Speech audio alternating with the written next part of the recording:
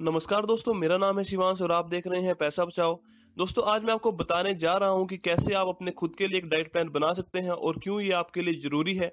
जैसे कि आप देख सकते हैं कि यूट्यूब में काफ़ी अच्छे यूट्यूबर्स ने बहुत सारे डाइट प्लान और वर्कआउट्स प्लान बनाए हुए हैं, बट जो डाइट प्लान है वो पर्टिकुलर आपके लिए नहीं बने हुए हैं, वो एक स्टैंडर्ड बॉडी के हिसाब से बने हुए हैं। जैसे कि अगर आपको गेनिंग के लिए थर्टी फाइव हंड्रेड कैलोरीज चाहिए और वो डाइट प्लान अगर थ्री थाउज़ेंड कैलोरीज के हिसाब से बना है तो आपको उससे रिज़ल्ट नहीं आने वाला। जैसे कि अगर आप फैट लॉस पे हैं, अगर आपको ट्वेंटी फाइव हंड्रेड कैलोरी चाहिए और diet plan three thousand calories का है, तब भी आपको रिज़ल्ट नहीं आने वाले। इसलिए आपको जानना ज़रूरी है कि आपकी बॉडी में को कितनी कैलोरी कैलोरीज रिक्वायर्ड है वेट गेन करने के लिए या फैट लॉस करने के लिए। तो चलिए जानते हैं इस वीडियो में। तो यहाँ सबसे पहले आपको अपना बीएमआर पता करना है।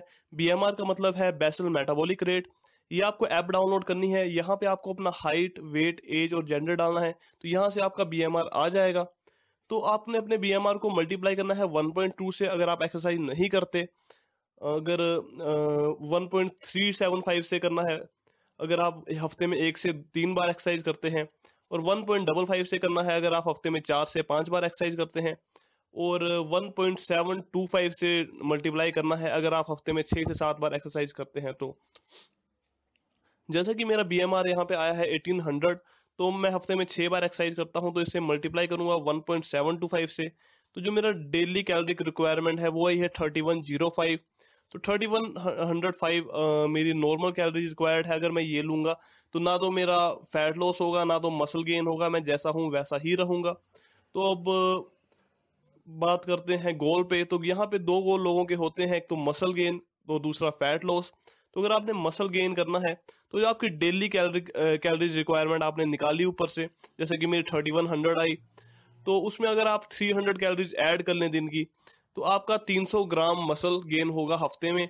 यहाँ फैट आपका गेन नहीं होगा प्योर आपका मसल गेन होगा। वही अगर आपको नॉर्मल गेनिंग करनी है तो यहाँ पे आप 500 कैलोरीज डाल सकते हैं। इस इससे आपका एक हफ़्ते में एक पाउंड वेट बढ़ जाएगा, जिसमें 80 परसेंट मसल होगा और 20 परसेंट फैट होगा। और अगर आपको डर्टी वर्किंग करनी है, जैसे कि बोल सकते हैं कि कोई बहुत पतला है, उससे फ़र्क नहीं पड़ता कि उसे फैट गेन करना है, चाहे मसल गेन करना है, वो बस अपना वेट बढ़ाना चाहता है। तो यहाँ पे फिफ्टीन हंड्रेड कैलोरीज ऐड कर सकते हैं। तो उसमें आपका हफ़्ते का एक दो किलो वेट बढ़ जाएगा, जिसमें फिफ्टी परसेंट मसल होगा और फिफ्टी परसेंट फैट होगा। तो इस तरह आप पता कर सकते हैं कि आपको कैलोरीज कितनी रिक्वायरमेंट है। सबसे पहले आपने अपनी डेली कैलोरीज निकालनी है, कितनी है, और उसके बाद आपने अपने गोल के हिसाब से वहाँ पे ऐड या माइनस कर लेनी है। तो भी मसल गेनिंग के बारे में मैंने आपको बताया है, जिसमें हमें ऐड ही करनी है। अब मैं आपको फैट लॉस के बारे में बताऊँगा। तो उसका फंडा भी सिंपल है, जैसे कि थर्टी वन हंड्रेड कैलरीज मेरी रिक्वायर्ड थी। अगर मैं इसे तीन सौ कैलरीज कम कर लेता हूँ, यानी कि ट्वेंटी एट हंड्रेड कैलरीज होगी तो मेरा थ्री हंड्रेड ग्राम फैट हर हफ़्ते का कम होगा। और वही अगर मैं 500 कैलोरीज कर लेता हूँ तो वहाँ पे मेरा एक पाउंड हफ़्ते का कम होगा, जिसमें 80 परसेंट फैट होगा 20 परसेंट मसल होगा। और अगर एक्सट्रीम फैट लॉस करना है, बहुत कोई मोटा है, फ़र्क नहीं पड़ता कि मसल जा रहा है या फैट जा रहा है, सिर्फ़ वेट कम करना है तो यहाँ फिफ्टीन हंड्रेड कैलोरीज हम माइनस कर सकते हैं, जिससे कि सिक्सटी परसेंट मसल जाएगा फोर्टी परसेंट फैट जाएगा, पर इससे होगा क्या कि हफ़्ते का एक दो किलो कम हो जाएगा। तो यहाँ से आपको पूरा पता चल गया है कि आपको कैलोरीज कितनी आपकी रिक्वायर्ड है। सबसे पहले आपको बीएमआर के थ्रू आपको निकालना है कि डेली कैलोरीज कितनी है। फिर फैट लॉस या मसल बिल्डिंग के हिसाब से आपने सेट करना है कि आपको कितनी कैलोरीज दिन की बढ़ानी है या घटानी है। तो उससे आपको पता चल जाएगा कि आपको कैलोरीज कितनी लेनी है। जैसा कि जो मेरा हिसाब है, मुझे थर्टी सिक्स हंड्रेड कैलोरीज अभी दिन की लेनी है, अगर मुझे मसल गेन करना है तो। अब बात करते हैं कैलोरीज की। तो एक ग्राम प्रोटीन में होती है फोर कैलोरीज एक ग्राम काब में होती है फोर कैलोरीज और एक ग्राम फैट में भी होती है एक ग्राम फैट में होती है नाइन कैलोरीज तो अब हमें पता करना है कि काब प्रोटीन और फैट का रेशो क्या लेना है। तो मसल बिल्डिंग और फैट लॉस दोनों के लिए अलग है। सबसे पहले आते हैं मसल गेन पे। तो मसल गेन पे हमने 50 परसेंट काब लेनी है 30 परसेंट प्रोटीन लेनी है और 20 परसेंट फैट्स लेने हैं। जैसे कि जो मेरी कैलोरीज रिक्वायरमेंट आपको, मैंने बताया 3600 है। तो उसका मैं अगर फिफ्टी परसेंट निकालूं तो एटीन हंड्रेड कैलोरीज मुझे काप से लेनी है। अब मैंने आपको बताया था कि एक ग्राम काप में फोर कैलोरीज होती हैं। अगर मैं इसे फोर से डिवाइड करूँगा तो फोर फिफ्टी ग्राम्स मुझे मतलब दिन की काप्स लेनी है। अब मैंने थर्टी परसेंट यहाँ प्रोटीन निकाल लिया thirty percent of thirty six hundred तो ये आ गया एक हज़ार अस्सी कैलोरीज मुझे प्रोटीन से लेनी है। अब एक ग्राम प्रोटीन में भी चार कैलोरीज होती हैं। इससे मैं फोर से डिवाइड कर दूँ तो पता चल जाएगा कि दो सौ सत्तर ग्राम मुझे प्रोटीन लेना है। और अब मैं ट्वेंटी परसेंट अगर थर्टी सिक्स हंड्रेड का निकालूँ जो कि है फैट तो सेवन हंड्रेड ट्वेंटी कैलोरीज मुझे फैट की लेनी है। तो एक, मैंने जैसे कि बताया, एक ग्राम फैट में नौ कैलोरीज होती हैं तो मैं अगर नौ से डिवाइड करूँगा तो मुझे पता चल जाएगा कि एट्टी ग्राम मुझे फैट लेना है।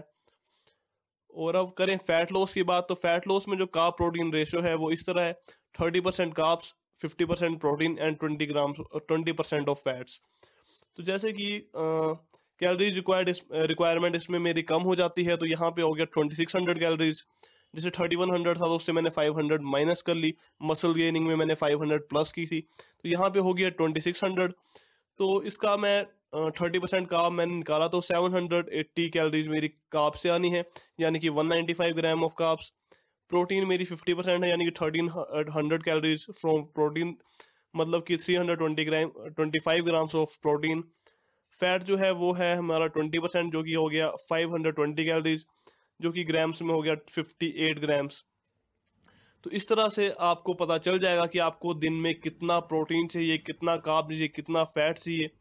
तो एग्जांपल के तौर पे मसल बिल्डिंग पे मेरा आ चुका है कि 270 ग्राम मुझे प्रोटीन चाहिए 450 ग्राम मुझे काप चाहिए और 70 ग्राम्स मुझे फैट चाहिए. तो मैं उसको सिक्स मील्स पे डिवाइड कर सकता हूँ कि मुझे हर मील में मैं 40 ग्राम 45 ग्राम प्रोटीन ले सकता हूँ 75 ग्राम काब ले सकता हूँ और फैट 12 ग्राम्स ले सकता हूँ। तो यहाँ आपको एक बात का ध्यान रखना है, चाहे आप फैट लॉस में हैं, चाहे मसल बिल्डिंग में हैं, जो आप प्रोटीन पोस्ट वर्कआउट ले रहे हैं, जैसे कि अगर आप 30 ग्राम आफ्टर एक्सरसाइज प्रोटीन ले रहे हैं तो जो आपका प्रोटीन इंटेक डेली का है, उससे आपको वो कम करना है। जैसे ऊपर 270 ग्राम मेरा प्रोटीन इंटेक डेली का आया था तो 30 ग्राम मैं यहाँ से कम कर रहा हूँ और 240 ग्राम वो बचता है।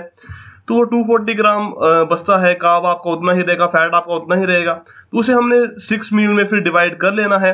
तो हम, आपको पता चल जाएगा, चाहे आप फैट लॉस पे हो, चाहे मसल बिल्डिंग पे हो, कि आपको हर एक मील में कितना प्रोटीन चाहिए, कितना काब चाहिए, कितना फैट चाहिए। अब इसके बाद अगर आपने अपना डाइट प्लान कैसे डिज़ाइन करना है, उसके लिए आपको ज़्यादा कुछ करने की ज़रूरत नहीं है। आप गुरुमान का कोई भी एक मसल बिल्डिंग या फैट लॉस प्रोग्राम डाउनलोड कर सकते हैं।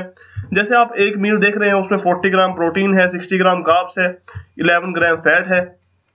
तो यहाँ से आपको जो प्रोटीन काब और फैट है, हर मील में अपने अकॉर्डिंग सेट करना है। उसके लिए आप जो इनकी रेसिपी है, उसमें थोड़ा सा ऐड और कम कर सकते हो।